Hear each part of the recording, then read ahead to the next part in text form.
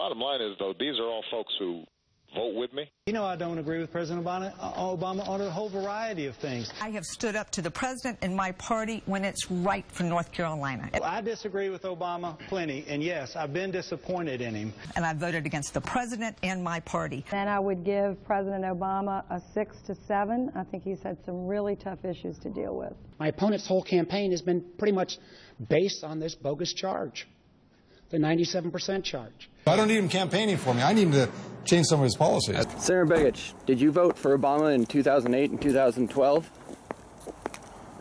White House, uh, when they look down the front lawn, the last person they want to see coming is me. Okay, Mark Udall. Anyway. Stop just hating all the time. Come on.